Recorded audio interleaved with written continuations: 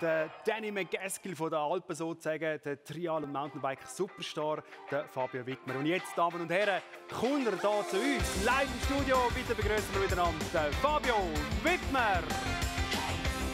Mit einem Wheelie standesgemäß, da muss ich aus dem Weg raus, sonst fährt er über den Haufen. Wir haben vorher gesagt, er dürfte über den Haufen fahren, das ist überhaupt kein Problem. Wir sind gut versichert. Fabio Wittmer, du bist der erste Österreicher seit wahrscheinlich sechs Wochen, der in die Schweiz kommt. Wie war der Grenzübertritt? Äh, für uns relativ entspannt zum Glück. Also wir haben eine Genehmigung, Sondergenehmigung da ein bisschen gehabt, äh, natürlich unter Berücksichtigung für alle Sicherheitsmaßnahmen. Ähm, aber sind wir eigentlich problemlos über die Grenze und äh, ja, sind nach Zürich gekommen. Sehr gut. Wir halten natürlich auch Abstand. Sicherheit ist wichtig. Du hast auf deinen YouTube-Videos, wir gehen schon ein bisschen nach vorne, 570 Millionen Klicks und es werden jeden Tag mehr. Kannst du noch zum Haus raus, ohne dass du gleich überfallen wirst von den Fans? Ja, also in Innsbruck geht es tatsächlich äh, noch halbwegs, aber klar, es, es kommt äh, schon fast täglich vor, dass halt irgendwer vor der Haustür immer steht und wegen einem Autogramm oder so fragt. Aber ist natürlich dann, also irgendwo ist cool.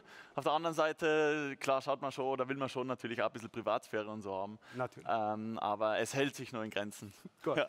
Ihr fragt euch sicher, wieso dass wir da führen kommen, in Gang führen. Ja, ganz einfach. Fabio Wittmer hat uns einen Trick oder eine riesige Spielwiese bereit gemacht und die ist ganz weit vorne am Ende des Ganges. Und äh, wenn ihr euch jetzt fragen, was der Fabio Wittmer auf dem Gang macht, er zeigt es euch. Er springt auf den Lenker rauf und fährt auf dem Lenker oben. Achtung, jetzt kommt er, voilà, und ihr glaubt es oder glaubt es nicht, manchmal fährt er sogar Stegen runter, wenn er so auf dem Lenker oben steht.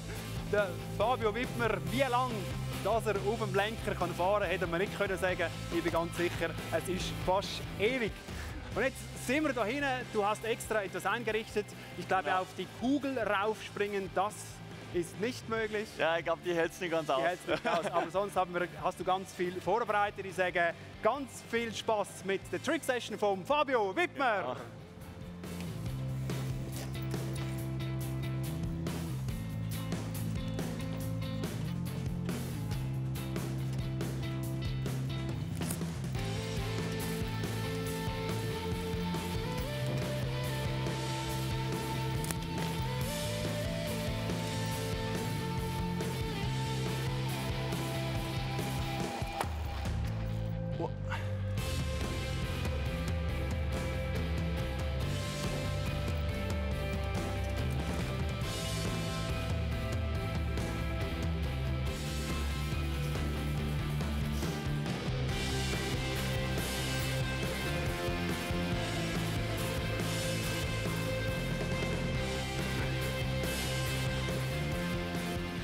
Glaube, es gibt einen Backflip. Fabio Wittmer, Backflip zum Abschluss von seiner kleinen Show hier.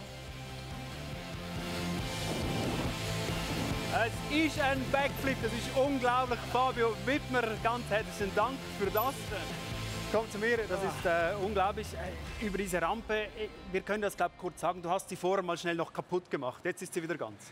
Genau, ja. Also wir haben ein paar Anpassungen treffen müssen, weil sie kurzzeitig mal ein bisschen nachgegeben hat, aber äh, Jetzt hat sie zum Glück ausgehalten und äh, ja, ein bisschen aushart. Perfekt, wollte ich gerade sagen. Es sieht alles so einfach aus, aber das ist schon anstrengend auch für dich. Ja, auf jeden Fall. Also total körperlich anstrengend. Äh, ich glaube, jeder, der es vielleicht mal probiert hat, der weiß so circa, ähm, dass es nicht ganz so ohne ist. Ja, aber nee, macht Spaß. Also Wunderbar. freut mich, dass ich da bin. Du bist ja seit zehn Jahren auf dem Bike unterwegs. Vorher warst du Motocross-Fahrer, also wirklich Motorradfahrer. Wieso hast du gewechselt? Wie war das? Erzähl mal. Ähm, genau, ich bin mit 5, 6 Jahren zum Motocross-Sport gekommen. Und dann äh, habe ich auf einmal mit, glaube ich, 14 oder 15 Jahren das Video von Danny McCaskill gesehen. Mhm. Und seit dem Video ähm, hat es bei mir so einen Klick getan und dann war ich einfach so fasziniert von dem Sport. Und äh, dann hat sich das Ganze so entwickelt. Und immer noch auf dem Motocross-Motorrad äh, unterwegs oder gar nicht mehr? Mittlerweile wieder. Also ich habe eine Pause von so sieben, acht äh, Jahren eingelegt und ja. äh, jetzt seit diesem Jahr bin ich eigentlich wieder unterwegs auf einem Motocross. Okay.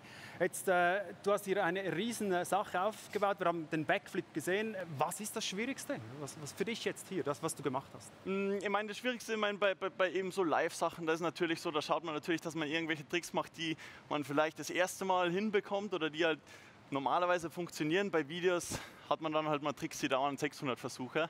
Und äh, das wird da halt schwer, wenn ich solche Sachen dann probiere. Ähm, aber grundsätzlich, mein Backflip ist natürlich schon immer wieder aufgeregt. Ich habe schon lange keinen gemacht gehabt über Rampe. ähm, weil ich daheim jetzt keine gehabt habe. Ähm, deswegen war das eigentlich jetzt wieder ein bisschen aufregend, aber Spaß gemacht. Okay, jetzt haben wir eine Slow-Mo von deinem Backflip bereit gemacht. Die Regie sollte das jetzt einspielen. Wir sehen jetzt nochmals deinen Backflip. Unglaublich, wie du den rumziehst. Kannst du den überall machen? Also brauchst du eine Rampe oder kannst, könntest du auch den von da oben runter machen? Ja, also ein bisschen Rampe brauchen wir natürlich schon. Ich meine, es geht natürlich mit anderen Radien äh, und mit anderen Rampen, die ein bisschen kleiner sind oder auch noch viel größer. Ähm, da gibt es ganz viele Variationen, aber schlussendlich äh, ja, kann man, kann man mit, sehr, mit sehr wenig Sachen eigentlich viel anstellen mit dem Rad. Perfekt. Fabio Wittmer, ganz herzlichen Dank.